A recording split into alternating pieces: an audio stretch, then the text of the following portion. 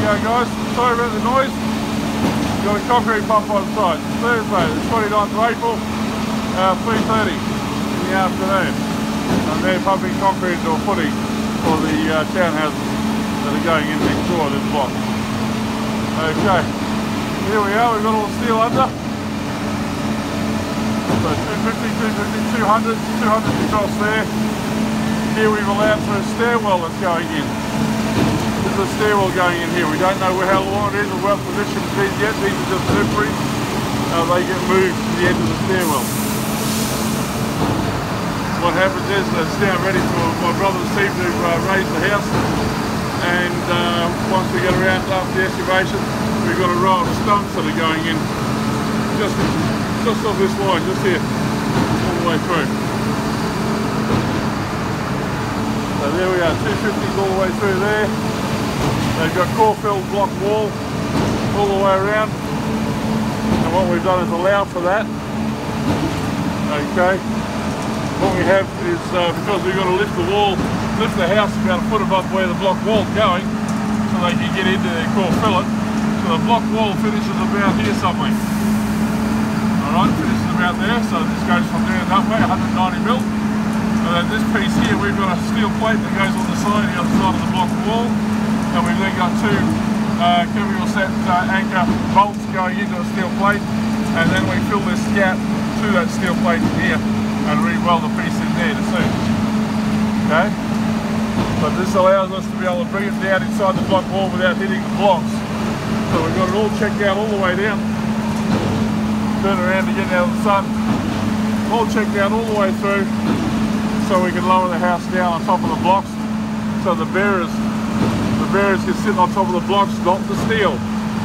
Okay, now we've got steel plate all the way down the outside of the bearer, which is where the uh, where the anchor is, is going, because we have uh, the uh, reinforcing bar coming up through the block wall, come out, and it'll be then uh, bent over and welded onto this steel plate. And that's the tie down.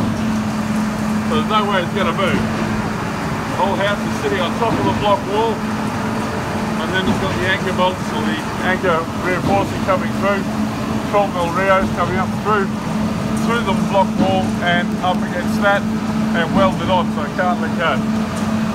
Alright. And then of course as I said we've got a steel plate here, bit of 200 by 10 mil flat comes down here, two 16 mil anchors going into the block wall there. And they being welded, that gap being the gap between the plate and there being welded up with another piece of C-channel that we've still got left over from cutting it out. We cut a piece there to fill that gap and weld it on.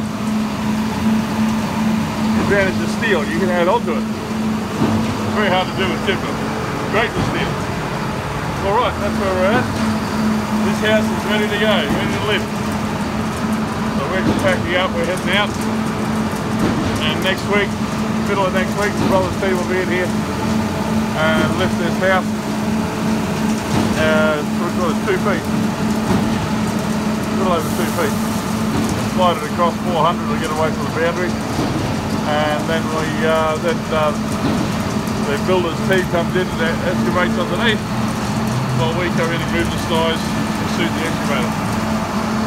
All right, and now we can go through after he's got all the excavation done, and the block wall done, and we lower the house down on the block wall, then we can do the eight or so stumps, whatever's got to go down the middle, and double check everything, make sure it's all done. All right. That's, that's my say on it. That's what we're doing. And I hope uh, you guys uh, understand what's going on. If you don't, please send me a message. Let me know what you, what you want to know, and uh, I can tell you what should be done, or what, what is being done, or how you possibly, you can tell me what you're doing, and if you want any advice on that, I can tell you that too. Okay. Thanks guys, thanks for viewing. Please hit that like button. And if you would, uh, if you want, uh, subscribe. There's a lot more coming. As I say, especially as we get into uh, recycling. We're doing quite a bit of that, but I haven't had any chance to do much videos on that yet. But uh, we'll get to that, and we'll show you more as we go on. Okay. Catch you guys next time. Love you. Bye.